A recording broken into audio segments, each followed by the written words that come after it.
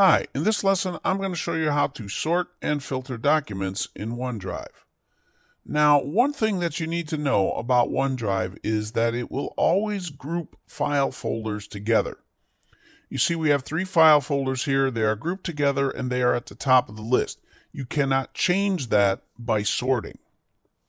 Now, when we look at this list, we can see that it is sorted alphabetically A to Z, ascending, by the file name.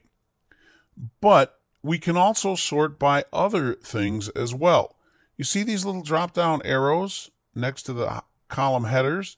Those let me know that there are options in there. And if I go ahead and drop on that, you see we have A to Z, Z to A. If we change the sort, we can see now that it is sorted descending Z to A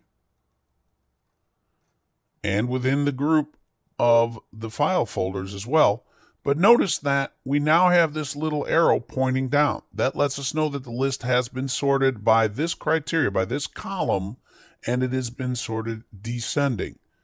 We also can sort by things like modified by or modified when. So if we do this, let's say older to newer, and let's make this column a little wider there, you can see that that's what's happened. We see that the oldest modified document here six days ago is first, and it goes down to the most recently at two hours ago. And once again, our arrow is now pointing up, indicating that this list has been sorted by this column and it is ascending. Now, we can also go ahead and we can filter our list as well. If we go ahead, let's go over here to the type. If we click there, You'll see that we can also sort by the type, but we can also filter by. Let's go ahead and let's click filter by. And you see that we can filter by the different types of documents. Let's go ahead and let's filter out everything except PowerPoint presentations. And you see it gives us that filter. It's hidden everything else. But notice that our sort is still in place. We are still sorted by when they were last modified, and again, oldest to newest. But we can change that sort. We can go back and do this alphabetically, and it still maintains that filter. And we see the little filter symbol, the little funnel here on top of the type column. That lets us know that that filter is in place there. Now we could also go ahead and apply another filter. Let's go ahead and filter by modified by. And when we click there, we see that we have two names to filter by. Let's go ahead and let's just select Pierce and apply. And now we have two filters in place, this one here and this one here. And again, our sort is still in play, even though we only have one document. It's not really going to change anything.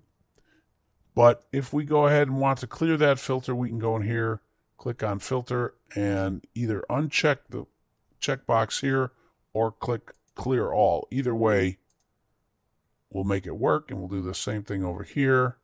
We'll clear our filters. We'll just uncheck that one.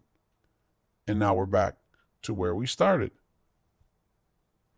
And I want to show you one more thing. Let's go ahead and let's put that filter on again. This time let's filter by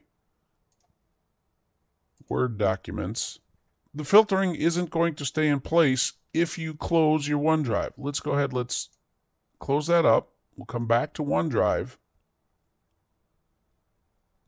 You see the filter is off, but notice that our sort is still in place. We are still sorted alphabetically.